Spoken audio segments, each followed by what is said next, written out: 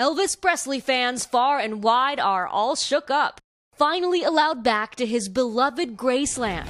More than 600,000 visitors a year usually show up at his Memphis home, all coming to explore the perfectly preserved rooms and memorabilia awash in the American dream.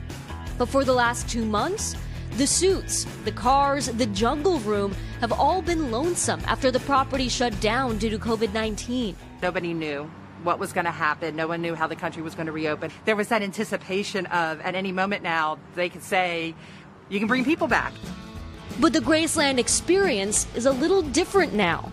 Everyone who comes through here has to get their temperature checked. If it's above 100.4, there's no entry. Masks are required for employees, suggested for guests, but the biggest difference is pretty obvious. This place is normally packed with people, but there are no crowds here today. Crowd capacity is capped at 25% and restaurants at 50%.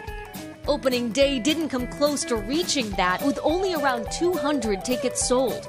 But those who did make it came ready to rock with the king. Oh, we're stoked. It's going to be awesome. I really want to see his outfits and uh, just the music, everything. Elvis spottings came in all shapes and sizes. Trying to have some fun for the first time in a while. What do you think Elvis would say if he were here today to witness all of this? Elvis would be right here at the front door welcoming everybody right through the front door. Would he be wearing a Graceland mask? He would be wearing a Graceland mask. You know, probably with a little curled lip. An iconic landmark navigating a new normal.